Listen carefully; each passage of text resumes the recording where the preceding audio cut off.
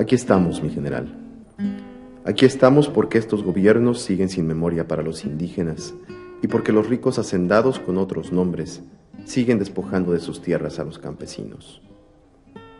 Como entonces pasó, ahora los gobiernos hacen leyes para legitimar el robo de tierras.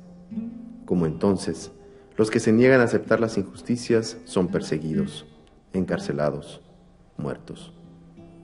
Pero como entonces, mi general, hay hombres y mujeres cabales que no se están callados y que luchan para exigir tierra y libertad.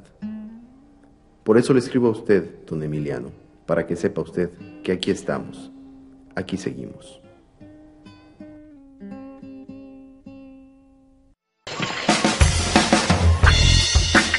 No morirá la flor de la palabra, podrá morir el rostro oculto de quien la nombra hoy, pero la palabra que vino desde el fondo de la historia y de la tierra ya no podrá ser arrancada por la soberbia del poder.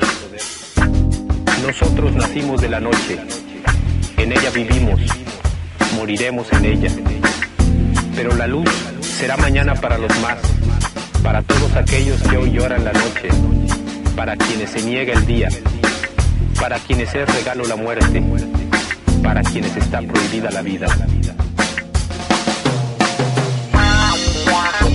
Para todos la luz. Para todos todo. Para nosotros la alegre rebeldía. Para nosotros nada. ¿Está bien? La. Listo. Nuestra lucha es por la vida y el mal gobierno oferta muerte como futuro.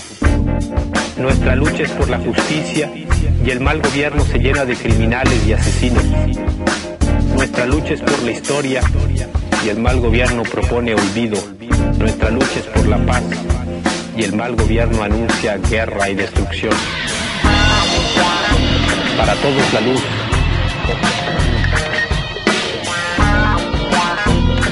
Para todos todos.